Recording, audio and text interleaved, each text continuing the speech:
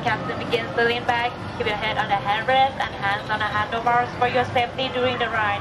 For those watching, we are about to launch these two individuals at a height of over 300 feet and at around 60 miles per hour. You can be the next one for just $25 per person.